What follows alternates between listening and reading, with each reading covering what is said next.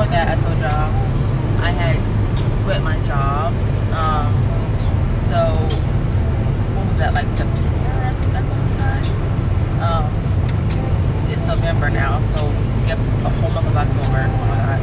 So update on October. Um, I started my job at Target. Um, October 5th.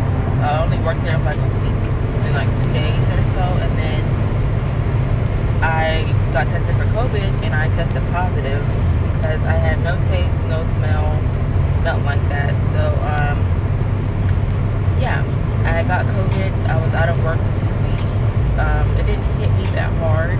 Only thing, I, like I said, I had no taste, no smell. Um, my body was hurting a little bit. I had a little bit of cough, but it wasn't really too much. Um, but I'm fine. I was out of work till like the 15th through the 28th. Um, but my last day at work was um, October 11th. So basically, it was, about, it was kind of actually three weeks, but it was paid leave. So I got I got paid for being out of work. So it was like a COVID leave basically. So uh, the whole month of October, it was a little up and down, a little wary because started my job, um, got COVID, and I went back to work on October 31st. Um, but I'm back to work now. Um, like I said, I started my new job at Target. Um, I'm a guest advocate. So basically my update of life, why I really haven't been up here because man, my life has been up and down like always. You know, life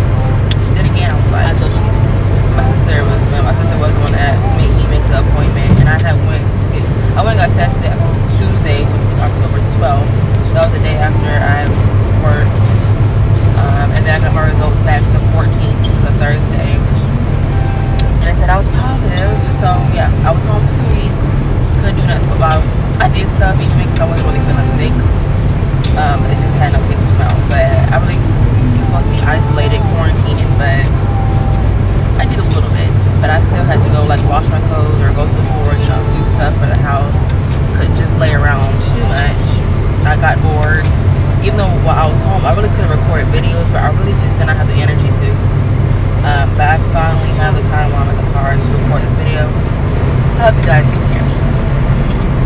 So yeah, basically that's kind of what's been going on. And I also want to talk about finding your purpose and finding yourself, but I can make that in the next video just a quick update of my October life.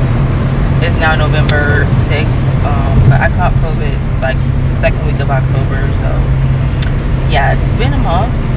Um, I'm okay. I had my family, my friends, whoever calling me from Atlanta, like my aunt, my grandma, my mom, all of them calling me like, oh my god, you know, you okay? You know, but thank God I'm not in the hospital or nothing like that. You know, I was really at home recovering myself.